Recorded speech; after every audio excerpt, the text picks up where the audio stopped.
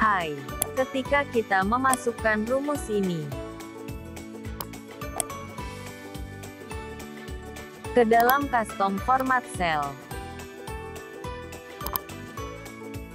maka setiap mengisi angka positif akan diikuti huruf buah.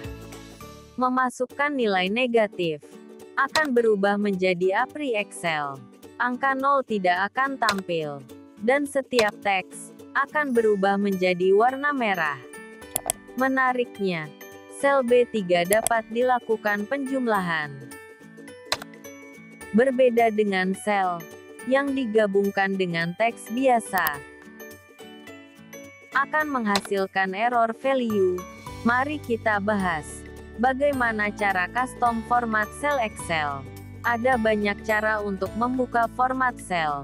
Bisa dengan menekan Ctrl 1 bisa juga mengklik kanan, lalu memilih format sel, atau mengambilnya pada menu Home. Format, lalu format sel. Untuk diketahui, custom format sel Excel mempunyai empat argumen, yakni positif, negatif, nol, dan teks dan setiap argumen akan dipisahkan oleh pembatas argumen. Jika melihat pada contoh kasus, maka setiap rumus dapat dipisahkan menjadi seperti ini. Mari kita lihat pada argumen positif. Tanda pagar berguna untuk menampilkan angka. Tanda titik sebelum tiga tanda pagar membuat setiap angka ribuan akan ditampilkan dengan titik. Tanda bintang atau asteris akan mengulang karakter berikutnya hingga batas sel, karena setelah tanda bintang yakni spasi, maka pada tampilan Excel, seakan menjadi kosong, dan teks yang diapit dua tanda kutip, berfungsi menambahkan teks ke dalam formula. Format pertama akan membuat setiap akhir angka menjadi spasi hingga akhir sel dan ditambahkan teks buah. Dan bila dimasukkan angka 0, akan menghasilkan tulisan buahnya saja. Karena pada custom format selnya, hanya dimasukkan argumen positif. Untuk format kedua, jika diisi 0, akan menampilkan angka 0 dan buah yang berdekatan. Karena untuk satuan pada format angka dibuat 0, dan tidak ditambahkan tanda bintang. Untuk format ketiga, akan menampilkan angka dengan mata uang rupiah, di mana angka berada di akhir batas sel, dikarenakan ditambahkannya lambang bintang, atau lambang asteris.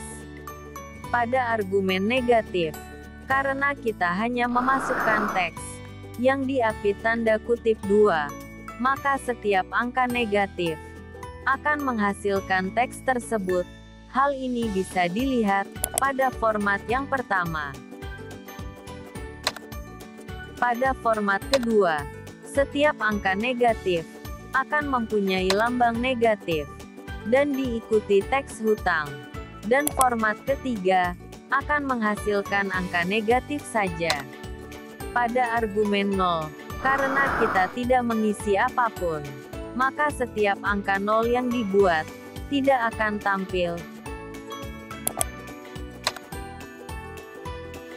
Jika ingin menampilkan jadi strip, tinggal rubah menjadi strip.